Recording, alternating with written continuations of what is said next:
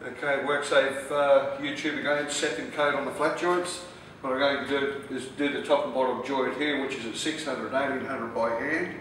And then we're going to turn around, we're going to use the uh, 200mm box with a twister head on the box on the side, which we can also run through on the flat joints.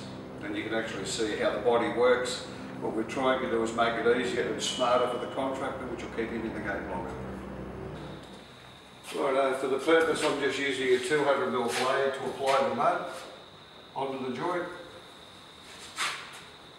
And you can actually feel as you're up, you can feel stretching up, it's more in the shoulders.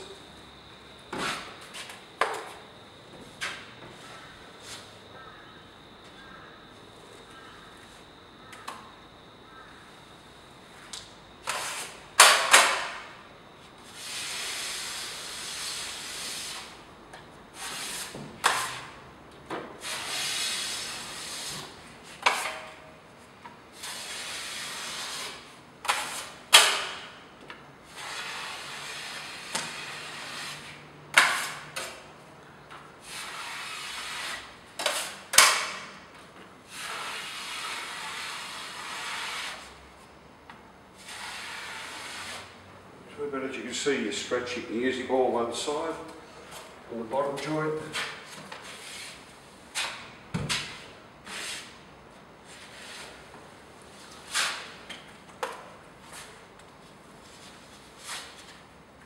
It's like a bend and stretch.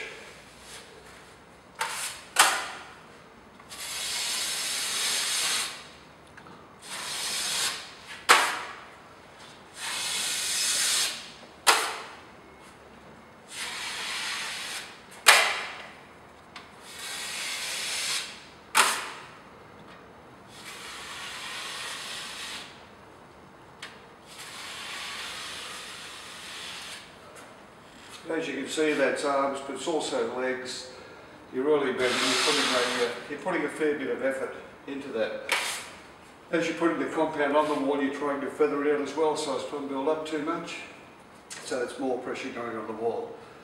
So we'll uh, now change over and do the 200 mil box.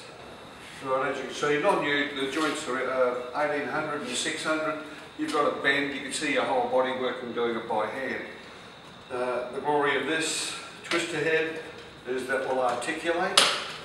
Once again, you still control the box uh, with the brake. It's on the wall.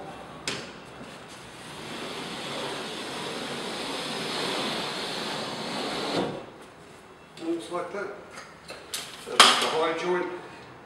You come into the low joint, you slightly adjust it again. On your joint,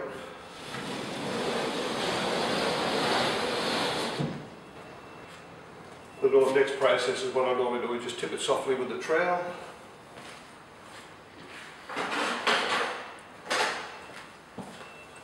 And as you see as you go on, it includes the air bubbles.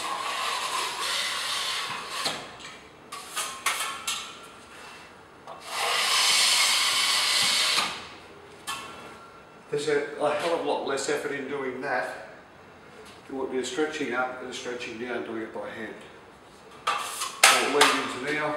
We'll just show you, you can also use that twister head on a flat joint at 1200 or coming overhead on a ceiling joint.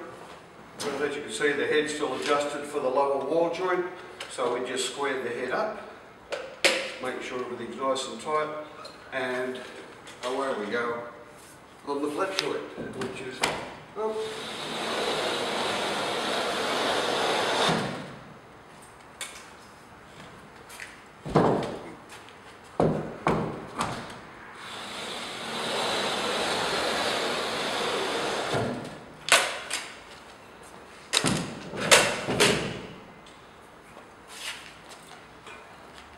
Then what we do there to take the air bubbles out once again, just use a blade on the handle, nice and flat.